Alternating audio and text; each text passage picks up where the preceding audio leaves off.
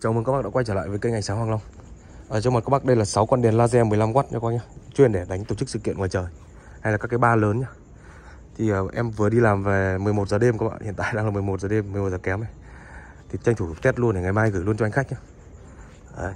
Bây giờ em sẽ bật cùng một lúc luôn Lên xem về 6 con đánh ở ngoài trời sẽ như là thế nào các bác nhá Đấy. Rồi, về em sẽ bật lên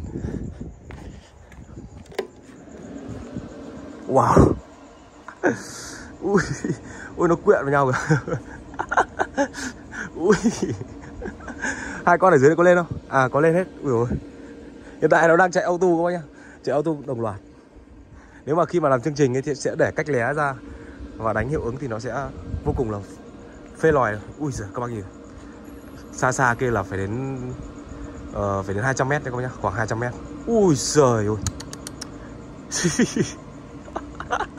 dã man thật.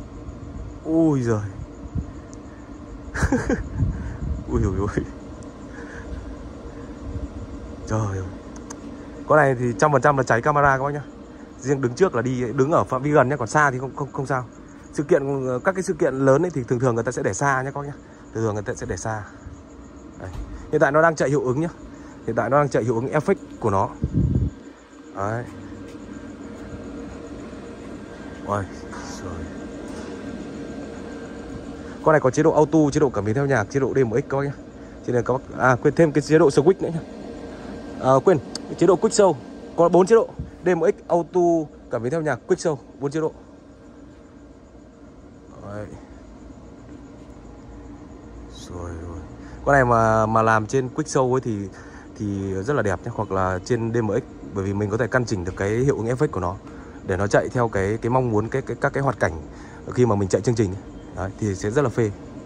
Ok các bác em bây giờ đêm thì em phải uh, off đây để tranh thủ quay một chút để cho các bác cùng xem nhé cảm ơn các bác đã theo dõi video này và hẹn gặp lại các bác ở những video sau nhé bye bye các bác.